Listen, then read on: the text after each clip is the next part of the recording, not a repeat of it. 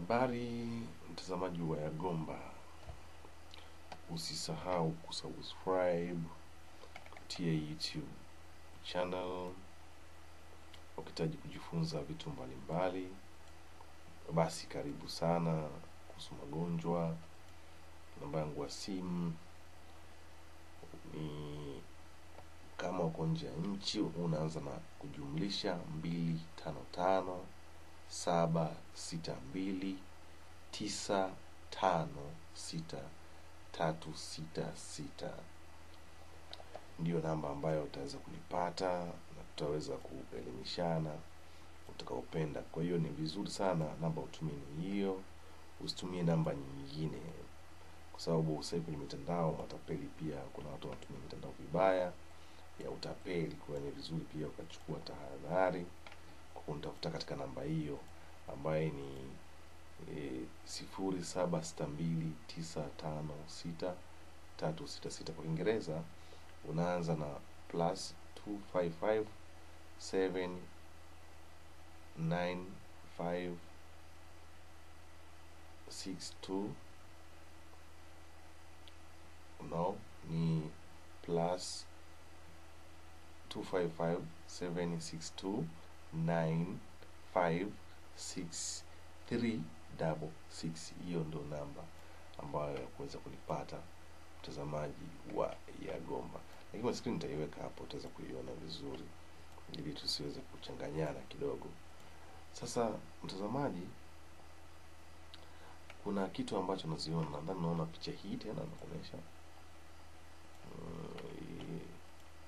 vile vile pia kuna hiyo hapo, kuna kuna kuna, kuna hiyo basi. Hizi hapa ni picha ambazo of course tunaongea tunaongea kwa mifano ili kila mmoja aweze kufahamu, na ambaye anahitaji kujifunza zaidi basi aweze kujifunza na kuweza kuelewa zaidi. Kwa ni vema na pia ukihitaji kujifunza basi uweze kujifunza. Kama mfugaji tu ushauri, inapaswa eh, ujitume sana kujifunza vitu mbalimbali vitakusaidia kama unataka uwe mfugaji mzuri. Sasa bila shaka utakuja kuwa umeshakutana na ugonjwa kama huu. Unakuta kuku wako miguu yake inatoka kama ma, kama malenge malenge au kama vidonda vidonda hivi mm, e, au kama vile vipele vipele vidogo vidogo katika maeneo mbalimbali, naweza kampelekea labda kuku akachechemea, kwa maana akatembea katika kama vile anakuwa ana anashindwa ana, ana, ana kutembea vizuri, kifupi anashindwa kuweza kumove kutoka sehemu moja au kwenda sehemu nyingine, au ndani ya banda au nje ya banda. Na mara nyingi ugonjwa huo akiupata, unakuta amekaa pembeni zaidi. Sasa kuna sababu mbalimbali ambazo huwa zinapelekea kuwepo kwa ugonjwa huu. Ni ugonjwa wa vidonda vya miguu mm, ambao huwa kuku anaupata. Kwa ni vyema nikasema sio mbaya tuweze kushare mina na wewe leo hii kuhusu ugonjwa huu. Kuna varasi ambao wanasababisha ugonjwa huu, mtazamaji wa Gomba. Um, varasi hawa ambao huo wanashambulia, na sio tu kushambulia kuku tu, hapana, huwa wana uwezo pia kushambulia hata ndege.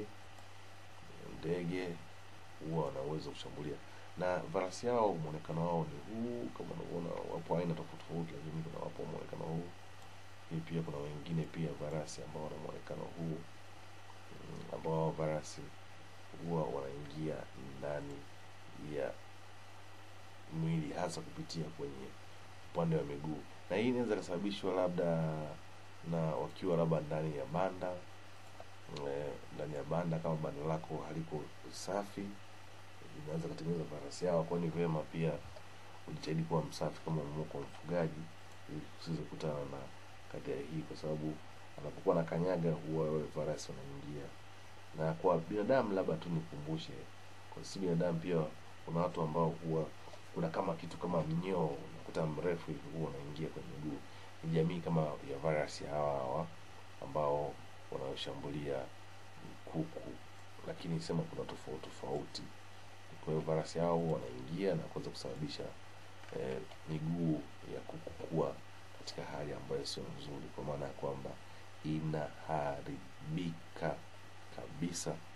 kumwacha kukiwa katika hali si nzuri na hatimaye kumsababishia matatizo mengine na hii unaweza kachukulia kama jambo la kawaida lakini kifupi akipata ugonjwa huu mtazamaji wa yagomba hawezi kulala kwa raha hawezi kula kwa raha hawezi kama kuna kukua kwa nataga hawezi kutaga kabisa kwa sababu muda mwingi atakuwa akisumbuliwa na ugonjwa huo. Kwa hiyo mpaka utibu kisha utibu na akiweza kuku wako kuweza kupona vizuri basi ujue kabisa kuku wako ataweza kuwa vizuri. Na unaweza ukawapata hata majogoo unaweza ukawapata hata um, kuku wa wengine nasema jogoo na huu haujalishi umri unaweza ukawapata wa umri mdogo na umri mkubwa. Kwa hiyo banda ni chanzo mojawapo cha tatizo ambalo huwa linatokea katika upande wa ugonjwa huu wa vidonda hivyo ambavyo vinatokea kwenye miguu ambavyo vinaenda kuathiri system nzima ya miguu na hatimaye kuku anakuwa anachechemea. Sasa na huwa tabia zake huu ugonjwa unaharibu katika sehemu mbalimbali za miguu yake na kuacha vidonda. E, inaweza kuwa ni kwenye kucha pembeni ya kucha au katikati ya vidole kati ya vidole vinakuwa namna hii kwa hiyo inaweza ikaingia huko ndani. Eh, karibu na kuacha vidonda. Kwa hiyo kuku anapokuwa anatembea au anapokuwa anapokuwa anafanya shughuli zingine unakuta anaumia zaidi.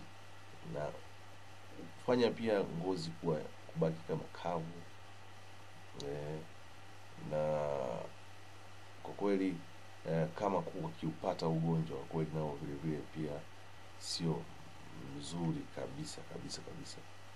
Sasa huu ugonjwa uh, ni virus hawa ambao wanakiingia huwa wanaathiri mfumo mzima huo wa upande wa ngozi hizo na kuweza kuzishambulia na kuweza kuziharibu. Sasa kumekuwa kuna njia mbalimbali. Cha kwanza eh, za kuweza kuepukana na ugonjwa ili uweze kuwatibu kuna njia mbalimbali. Kwanza kuna duka, kuna maduka ambayo yanauza dawa ambazo unaweza ukawapa. Lakini vile vile pia na, kuna wataalamu mbalimbali ambao wanakuelekeza ukienda kwenye maduka watakuelekeza namna gani uweze kutumia dawa gani ili kutibua kutibu ugonjwa.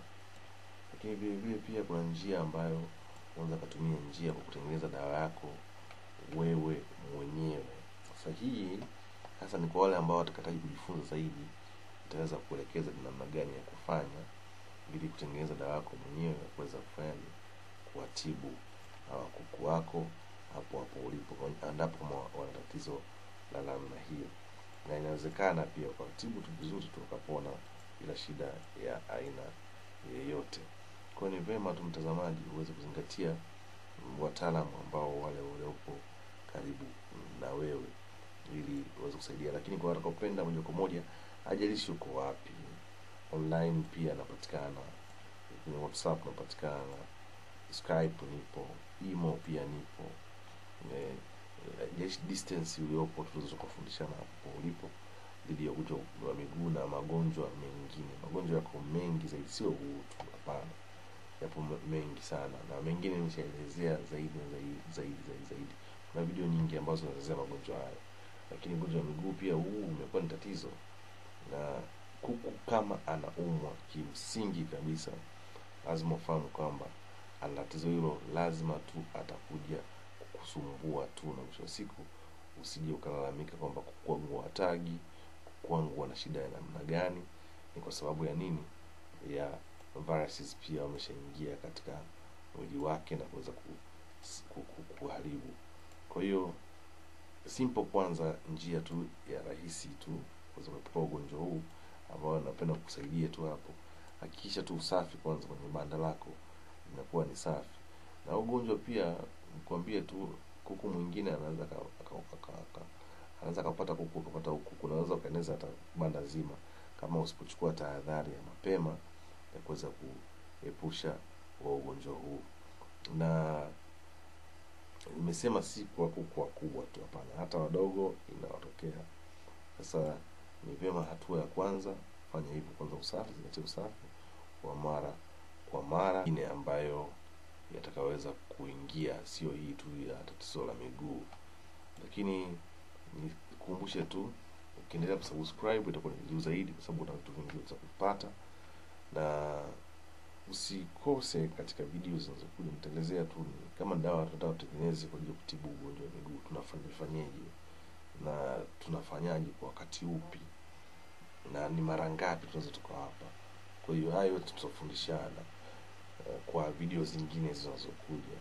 Lakini ukipenda wewe moja kwa moja kunitafuta kuweza kujifunza basi unaweza kunitafuta katika hiyo namba ambayo tayari nishaitaja nairudia tena kwa mara ya mwisho ambayo ni unaanza na kujumlisha mbili tano tano saba sita mbili tisa tano sita tatu sita sita.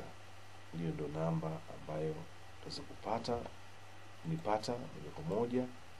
Lakini kumbushe tena epukana pia na mitandao kuna matapeli wapo. Kwa hiyo vizuri chukua tahadhari hakikisha namba unatafuta ni hiyo ili uweze kuwasiliana na mimi moja kwa moja.